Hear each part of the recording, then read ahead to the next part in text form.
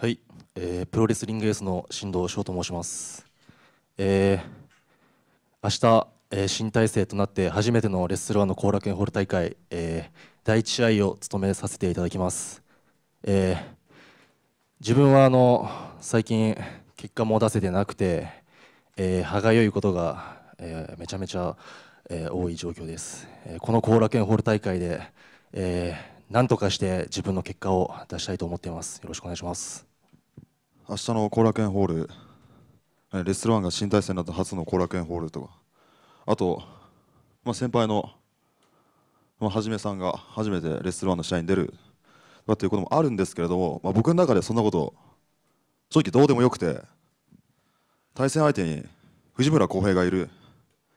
もうそのことしか全く今頭にはないですね。はい。以上です。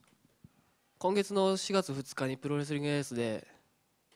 デビューしました、えー、はじめです、えー、初後楽園ホールで初レッスルワンで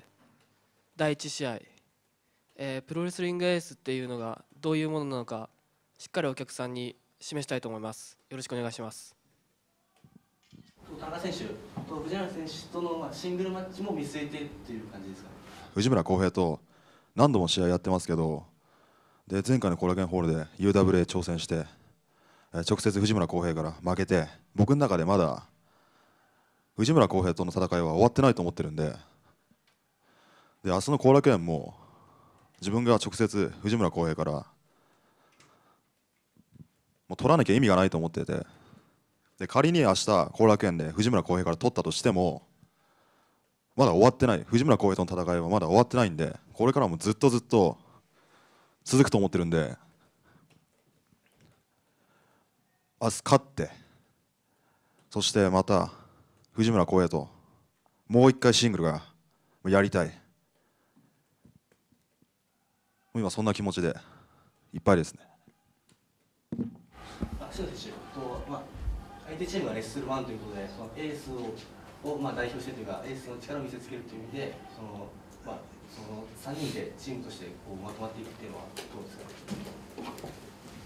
はい、えー、そうですね、えー、岩石とは、えー、同期で、えー、いつも一緒に練習してて、えー、野村さんも、えー、1期生なんですけど、えー、一緒に練習させてもらっててやっぱりそのエースらしさって難しいんですけど、まあ、その総合学院で養ったものを3人で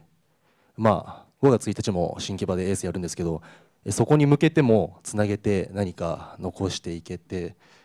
でこの3人でも何かチームワークを残せたらなとは思ってます。はい